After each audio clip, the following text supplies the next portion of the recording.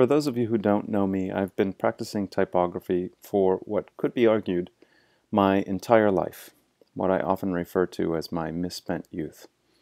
My father is a retired printer, and some nights after work and some weekends he ran a small press out of our basement, where my brothers and sisters and I were often drafted into service. My mother, a calligrapher and letterer, has always had informed opinions about both formal writing and typography.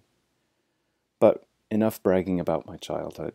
For the 20 or so years spanning the turn of the century, in addition to designing type and teaching design, I designed books, hundreds of books.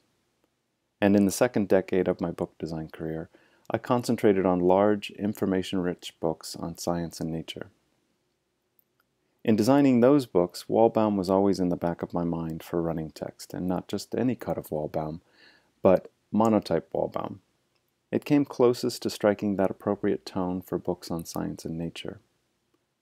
Walbaum is a modern, one of a handful of late 18th and early 19th century designs that championed idealized forms over handwriting as a typographic model. Bodoni and Didot are, of course, the poster children for the modern style, and Walbaum is the lesser known cousin. Walbaum is the least dogmatic of the group. While moderns by definition have large x-heights, high contrast between thick and thin, and hairline serifs, Walbaum tempers those tendencies. It has warmth and humanity. And in that combination of idealized form, abstraction of traditional type models, and warmth, it captured some essence of the excitement and experimentation of early scientific discovery. It's bright and clear and ahead of its time.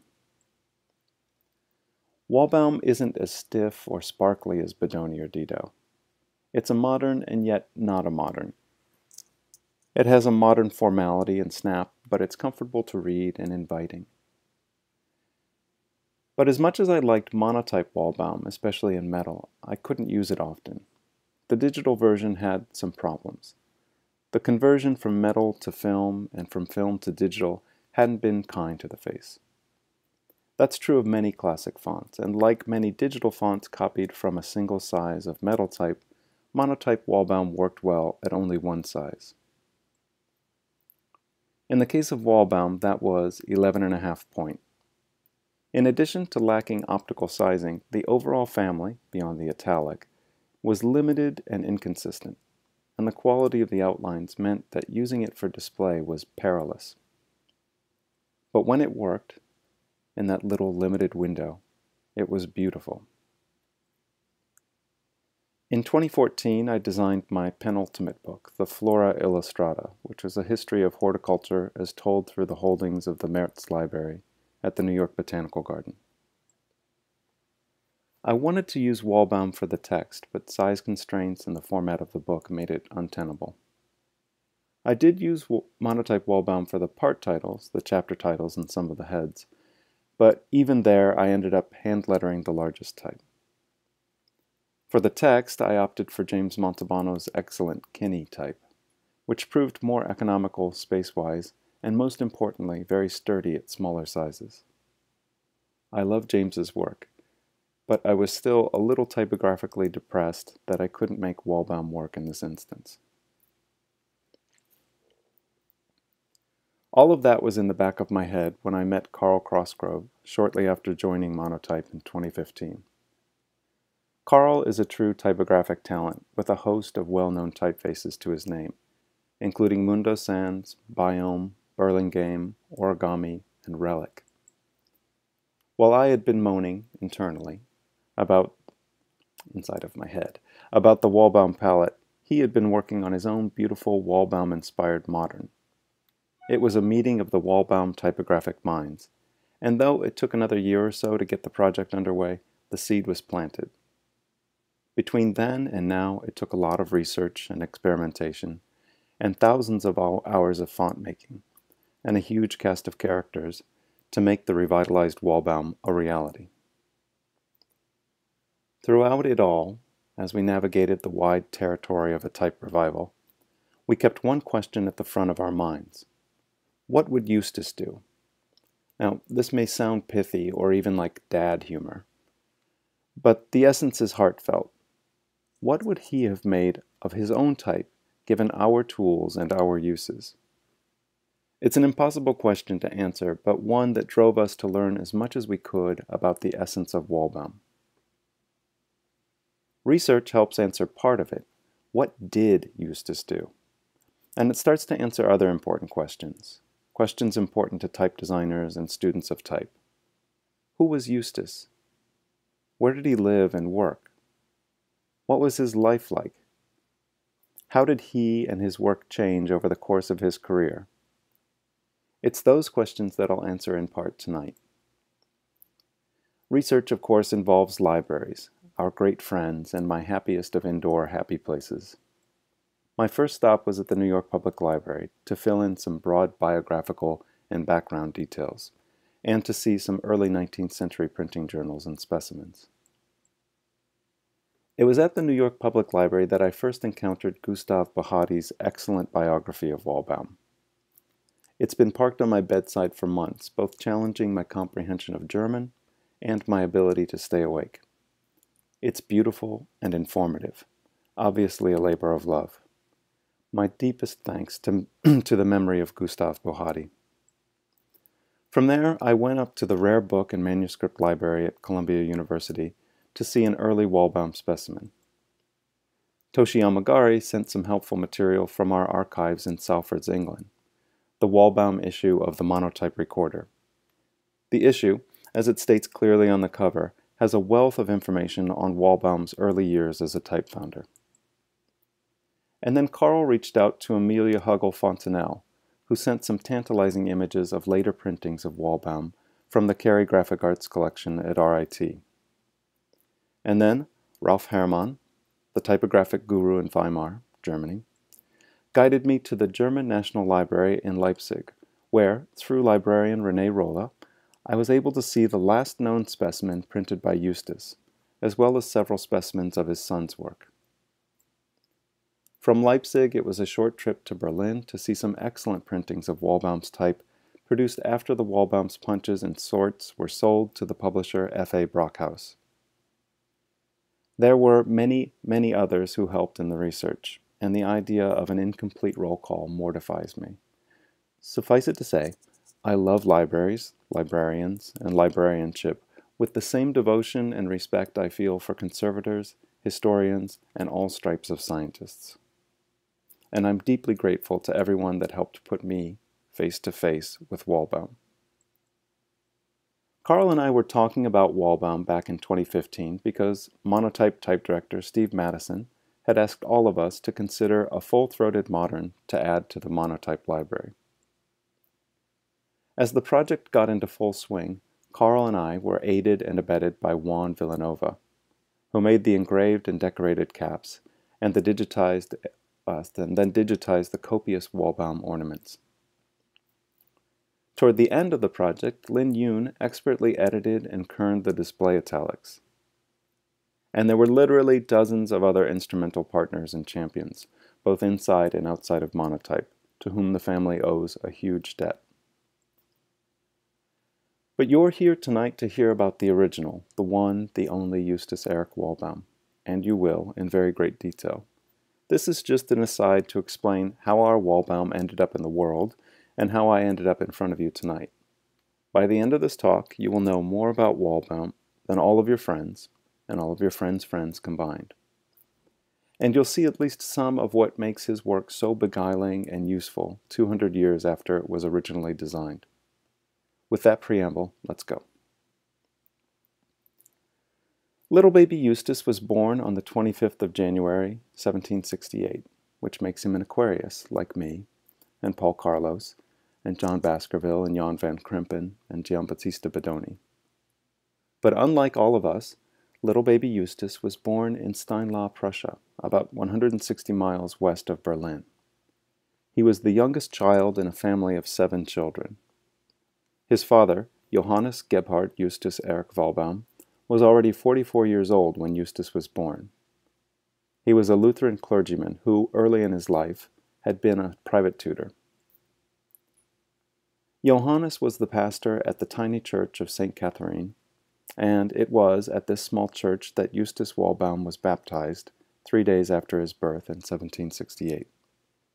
The church is small, and the village of Steinlah is small, and it remains so to this day. His mother, Eleonora Caterina Sophia Robert, was 32 when Justus was born, and died just three years later.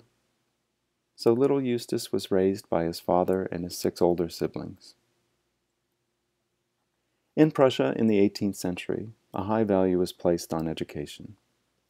It was one of the first countries in the world to introduce free public education. Martin Luther had preached the necessity of an individual's interpretation of the Bible, and so being able to read was a religious imperative. In addition to reading, writing and math were considered essential skills for every religious and industrious citizen.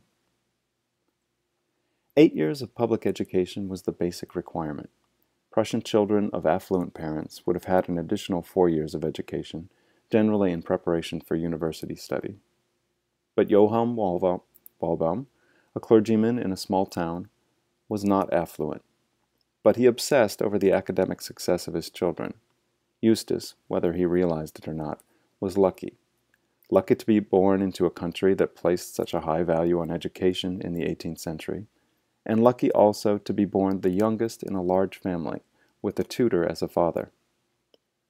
He attended public school and received additional lessons from his father and his brothers and sisters.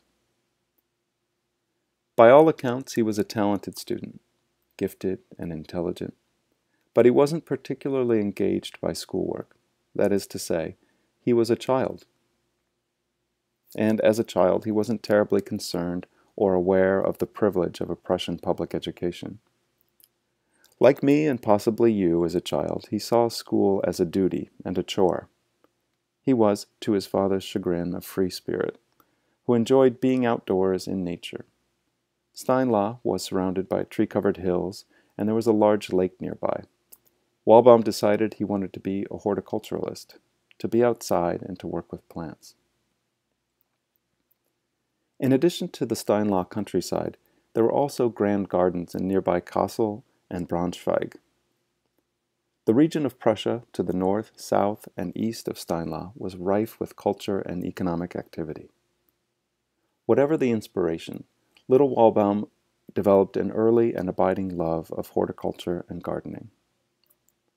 But his father, for reasons most parents will understand, had other plans for him. Justus would become a merchant, a solid, practical, industrious merchant. In an arrangement made by his father, young Justus was sent north to Braunschweig to board with his father's friend and church associate, the Reverend August Anton Eobald Ahlers. Pastor Ahlers had known Justus since he was a little baby and agreed to look after the boy for a year or possibly two to further his education and perhaps to find him an apprenticeship. Apprenticeships were, after all, an obvious route for someone of Walbaum's background, the son of a clergyman from a small town without enough money to consider additional schooling and a university degree. An apprenticeship meant a prolonged servitude, but it offered the opportunity to improve one's station in life by learning a trade. Soon after young Justus arrived in Braunschweig, Pastor Aller arranged an apprenticeship for him at Grabenhorst's, a reputable confectioner and grocer. The Grabenhorst apprenticeship occupied the bulk of young Walbaum's teenage years. It's likely that teen Justus was indentured at Grabenhorst for four to five years. He learned a good deal about the business of the grocery in that time, but he also found something that interested him much, much more a peculiar aspect of bakery production the carving of pastry molds. The molds in question were, and are, used to make Posen, or Springerle as they're called in southern Germany. The molds themselves are carved in relief on a block of wood, either as individual pieces or with multiple designs on a single block. The moist dough is then pressed into the mold, released, and baked. The carving of these molds so intrigued young Justus that when his long apprenticeship finally finished, and he was given his journeyman's certificate by Grabenhorst, he set out not to become a merchant, but to carve his own Posen molds. But having just completed a long indenture, he didn't have the money to purchase his tools, So he did what you or I would do, and by that I mean what you or I would do in the 18th century. He made his own tools. And not just a nice workbench. According to Pastor Allers, he broke up old sword blades, converted them into chisels, procured suitable wood from home, and began to engrave. In what will become a recurring refrain in the life of Walbaum, he was good at it, and was successful, quite successful, and quickly segued from carving molds in wood to carving molds in steel. Here again, he did very well, making enough money that he abandoned being a merchant altogether and devoted himself to engraving. At the tender age of 22, he cut a medallion honoring Abbot Johann Friedrich Wilhelm Jerusalem, a prominent Lutheran theologian from Braunschweig who had died a year earlier in 1789. By Pastor Aller's account, and he would have known, Walbaum had achieved a speaking likeness of the abbot, despite next to no artistic training. The medal brought the young Justus great acclaim, and additional work in carving steel. The medal shown here sold at auction last year for around $380. The listing contained no mention that it had been cut by Germany's celebrated typographic son, Justus Walbaum. But to us, especially to Carl Crossgrove and I, the medal shows the DNA of both Walbaum's modern style inclinations and his unique serif and letter shapes, especially in the capital R. His steel engraving skills attracted the attention of a Braunschweig music and art dealer. During his last years in Braunschweig, Walbaum began working with Johann Peter Spehr. Herr Walbaum began cutting music plates for the sale at Spehr's shop. As you've been warned to expect, he was very good at it, despite having no knowledge of music and no experience at engraving it. Good or not, the business of music printing proved less lucrative and successful than his previous engraving business, and though Spehr continued in the music business, he did it without Walbaum. Around that same time, on the 25th of June, 1795, Herr Walbaum married Augusta Dorothea Magdalena Müller at the church of St. Ulrike Gemeinde, with his father and the bride's parents in attendance. In the church record, Walbaum lists his profession as engraver and medallion maker.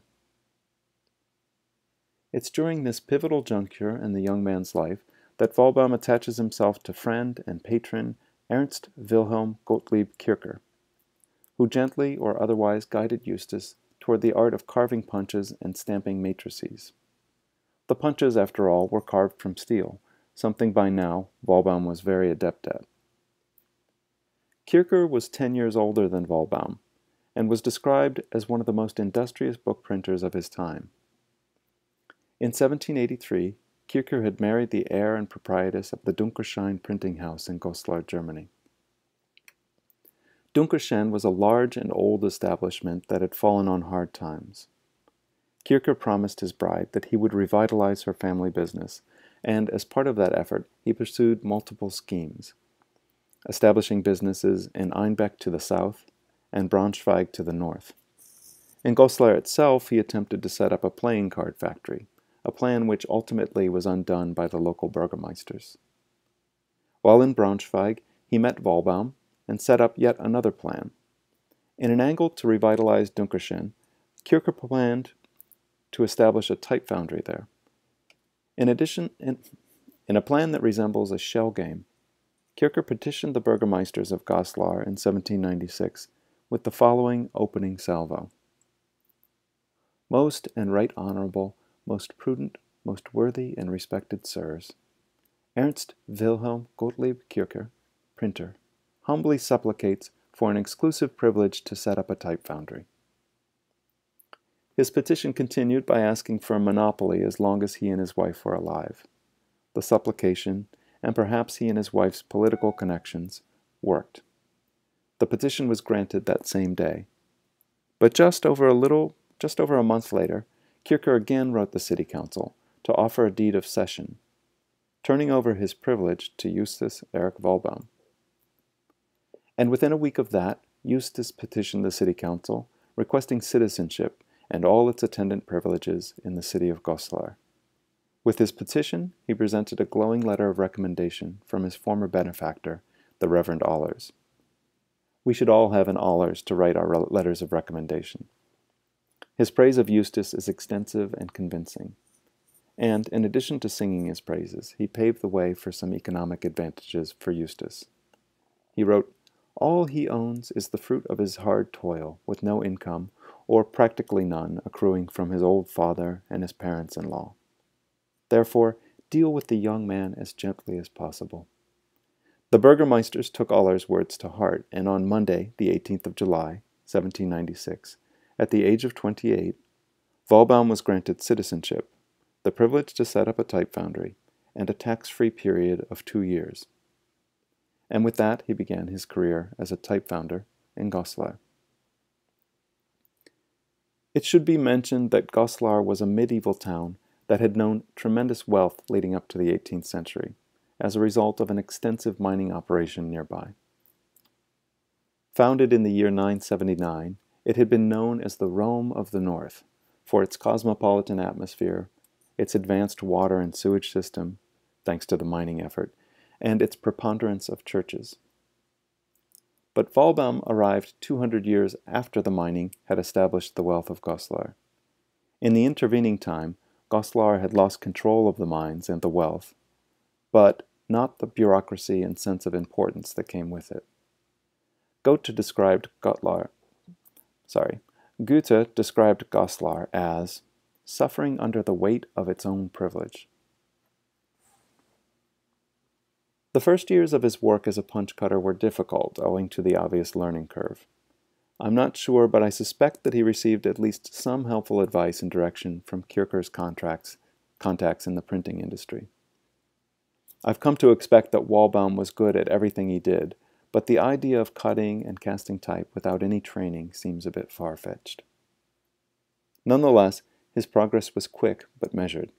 He cut and recut his earliest types with an eye towards improving the readability, color, and style of his printed text. He experimented relentlessly, costing himself time and money, but the results were excellent. His small handful of fonts sold very well, which was important since in 1798, the year that his tax-free status was to expire, Augusta and Justus had their first child, a son they named Heinrich Theodor. Young Theodore would eventually become his father's helper, and when he turned 30, his father's successor in the type founding business. And in the following year, their second child was born, Augusta Amelia Walbaum. In his first six years of punch cutting, Walbaum worked at an amazing pace, cutting 12 full fonts, 5 Romans, 4 italics, and 3 fraktur's, in sizes equivalent to today's 5 to 11 point. I'll break it down a little so you can be as amazed as I am. If Justus starts from zero in 1796, and we grant him a year of setup and experimentation to the midpoint of 1797, and he works every day until October of 1802. That's 1,917 days. And if he keeps the Sabbath holy and avoids working on holidays, he's down to 1,631 days. And if his fonts are averaging 150 characters, upper and lowercase, small caps, accented characters, punctuation, figures, and reference marks, then by the year 1802, he's cut in the neighborhood of 1,800 sorts. That puts him around the average for a very seasoned punch cutter, one punch a day. With a little time left over to cast type, print specimens, and carry on the business. And of course, to be a young father and devoted husband. He also cut an impressive array of assort an assortment of figures, rules, borders, ornaments, math sorts, and other symbols. In 1803, he produced a specimen of his work in Goslar. And you're looking at a copy of that specimen that resides just up the road at the Rare Book and Manuscript Library at Columbia University.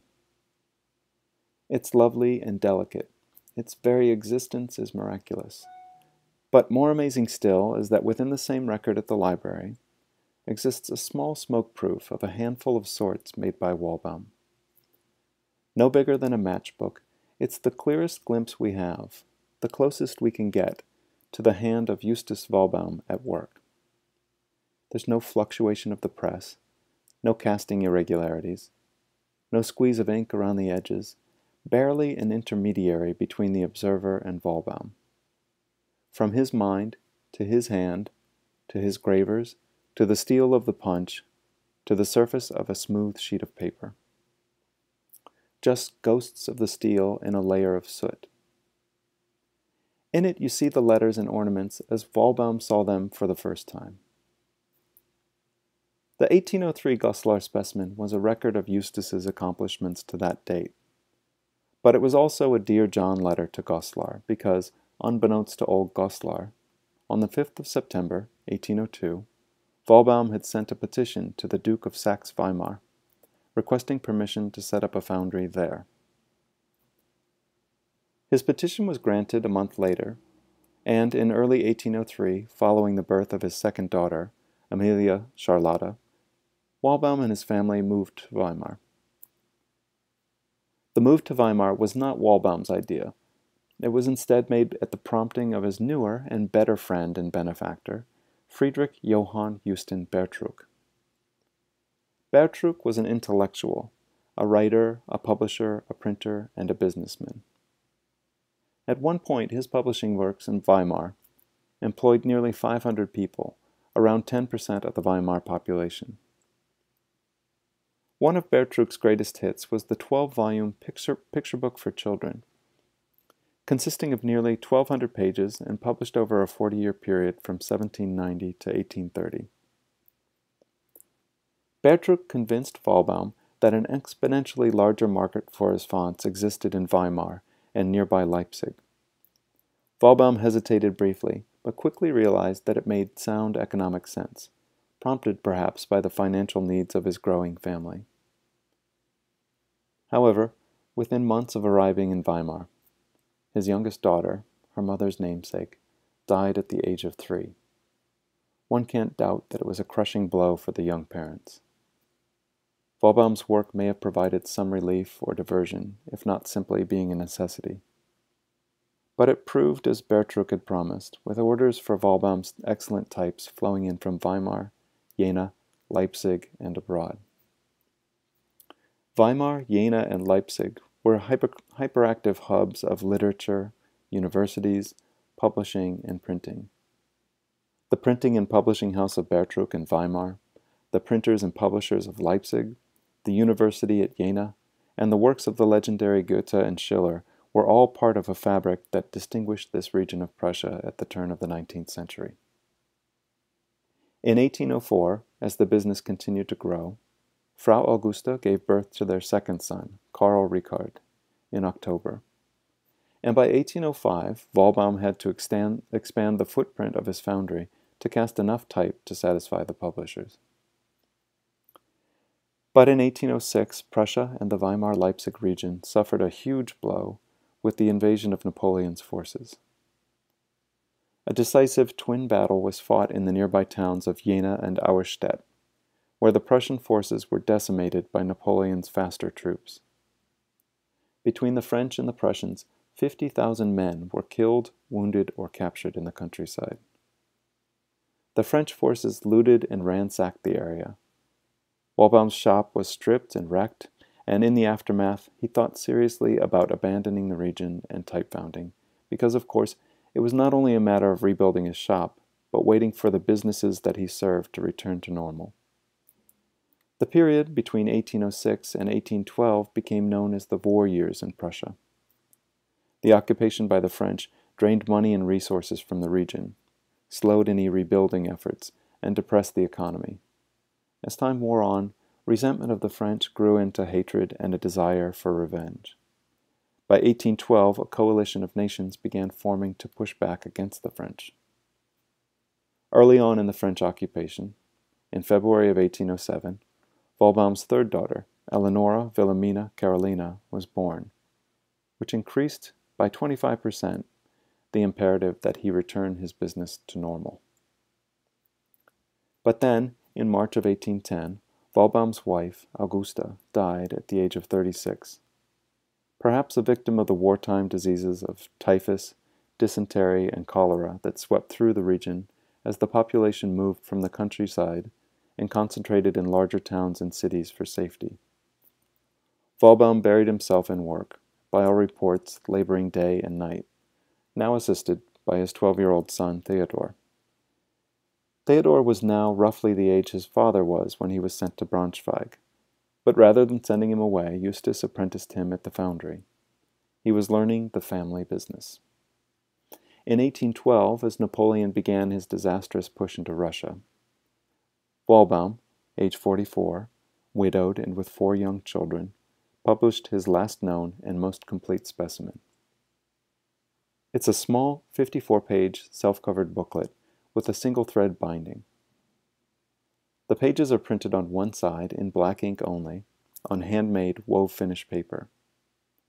Fraktur fonts, of which there are 17, are presented first, followed by 28 Roman and italic fonts. Adding 23 new fonts to those shown in the 1803 specimen. It's very probable that there were other specimens printed by Walbaum after this one, and many of these fonts appear in specimens printed more than a decade later by Theodore. But this is the last one that we can definitely point to as containing only Justus's fonts. The largest type is the Kleine Sabon, at around 76 point.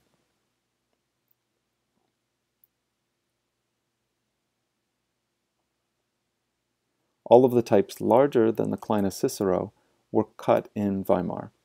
These smaller sizes are the same fonts printed in the 1802 specimen from Goslar. But the presswork is better, and the small booklet format is twice as charming. The Roman and italic fonts are followed by three new Greek fonts, a new and very legible script font, and a page of Rudolf Koch like signs and symbols. There's a page of rules and brackets, and three pages of borders and ornaments, including 30 new styles. Various sizes and styles of figures are distributed throughout the booklet. The repeating ornaments are especially enchanting and doubled, if not quadrupled, Juan Villanueva's work in our Walbaum family. The whole production ends with a two-page price list. The prices for Fraktur fonts are roughly the same as Antiqua, however the italics cost a bit more. And I especially like the very workmanlike and accommodating notes at the very end. All foreign letters and languages, and all existing scripts can be cast when required. And also, please, if you order fonts, let us know whether or not word spaces, em squares, and other white spaces should be included. I like the sentiment. If you need it, I will provide. But I also like hearing Walbaum talk about day-to-day things across two centuries. In May of 1814, a 46-year-old Justus Walbaum remarried. His new wife, Frederica Christiana Budius, age 41, helped raise and educate his four living children, and remained Walbaum's companion for the rest of his life. Theodore continued to work with his father through the 18 teens and 1820s. His progress, as evidenced in his later specimens, was at least steady, if not extraordinary. His father must have been pleased and proud, both with the quality of Theodore's work and that he'd been, and that he'd been able to extend his legacy and ensure his son's prosperity. In 1828, when Justus reached the age of 60, Theodore took over the foundry business. It may have been a relief not to have to go to work anymore, or he may have continued to pop in occasionally offering sage advice. However, he dealt with retirement. The first year wasn't easy. That year, his son in law died suddenly, followed quickly by the death of his favorite granddaughter who had attached herself to Grandpa Justus from the time she could first walk. Following those tragedies, and perhaps to help him escape to some degree, he returned to his childhood dream of becoming a gardener, spending days folding into years, tending plants and enjoying the outdoors. Theodore's output was prodigious and varied. His types are far more refined than his father's, and cover a range of styles that speak both to his skill and the explosion of typographic form in the early decades of the 19th century. He produced a handful of these loose specimen sheets which show a variety of very finely detailed text faces. But these were just the tip of the iceberg. In the mid 1830s, as he began publishing a complete showing of his types, and some of his father's, in the less than succinctly named Journal for Buchdruckerkunst, Schriftgießerei und die Verwandten Fächer, or the Journal for Book Printing Arts, Typefounding, and the Related Subjects. They're all very well printed, despite these images. The paper is bright and smooth, and the ink is coal black. There are literally dozens of large pages covered in different styles and sizes of types. The rules and ornaments alone span about 20 pages. Theodore had been a very busy man. The specimens appear over multiple volumes of the journal. Theodore was midway through publishing the complete specimen in July of 1836 when he took a summer holiday at the nearby resort of Bad Berka, just south of Weimar. While there, he was involved in a carriage accident and was killed instantly. The tragedy for Justus could be nothing short of profound. His first son, heir to his legacy, and an extremely accomplished type designer in his own right, was gone at 38 years old.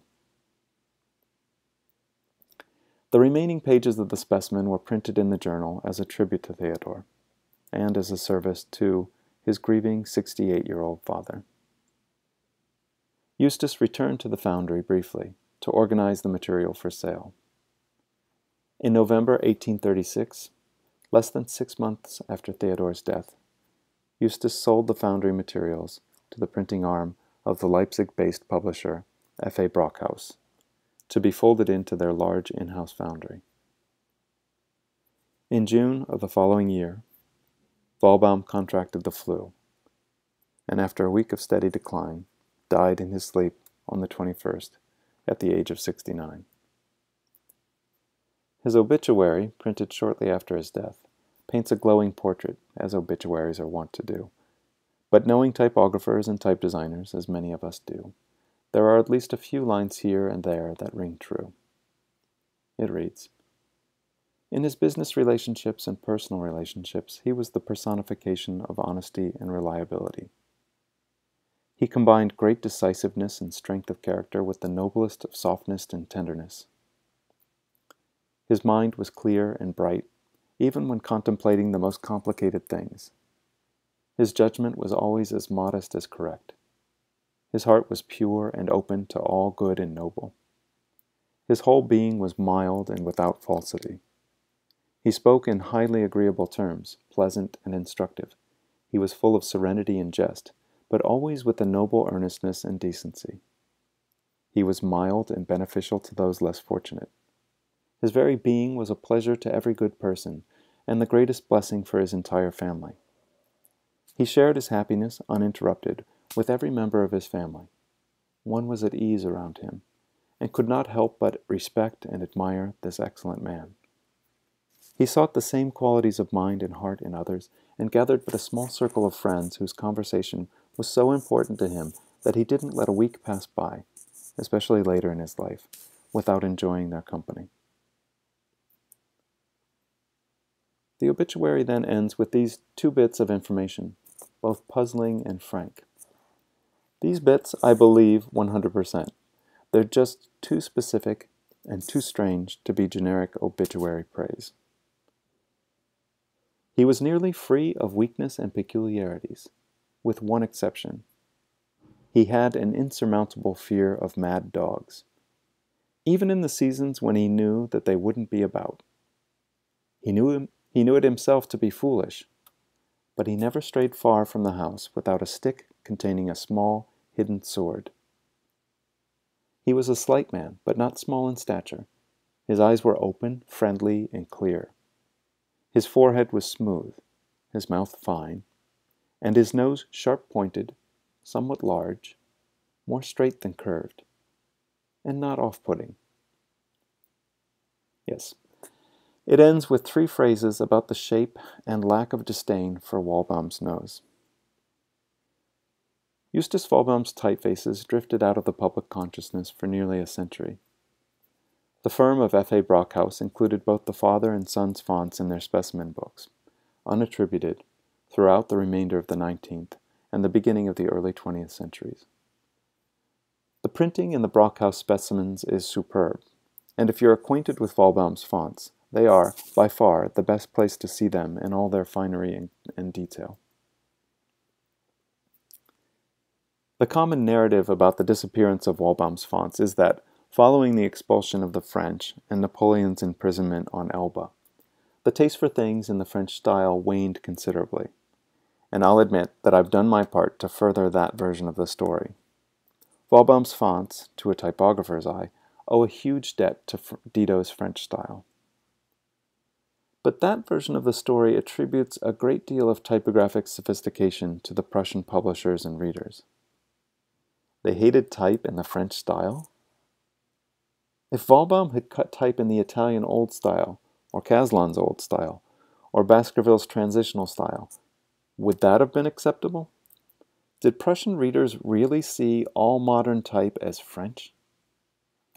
While I see 18th and 19th century Prussians as sophisticated and learning, learned citizens, quibbling over texts set in the French style seems a bit much.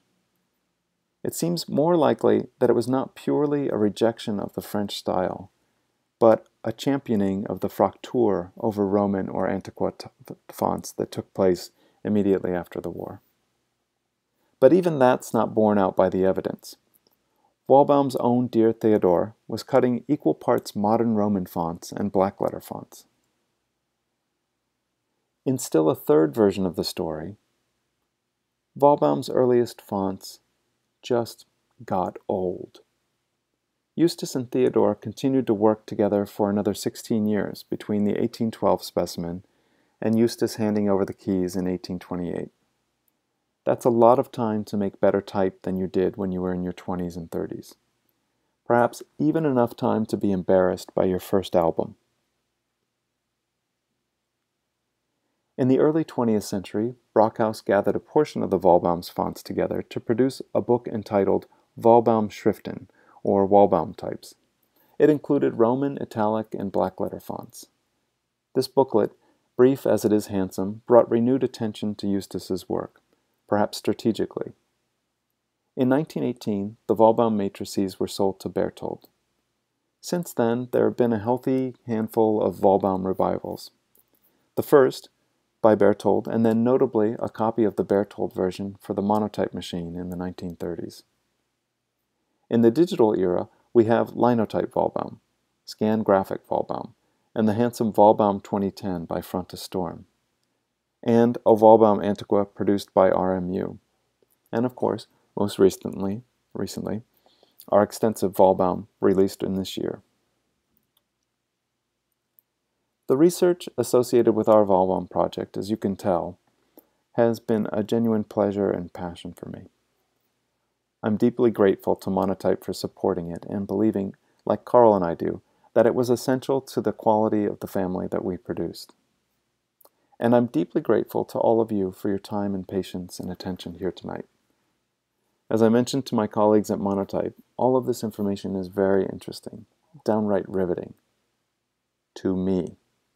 I can only pray that it was interesting in some small part to you. Entertained or not, I hope that you'll join me in thanking Justus Erich Walbaum for his estimable contribution to typography during this, the 250th anniversary of the year of his birth. Thank you.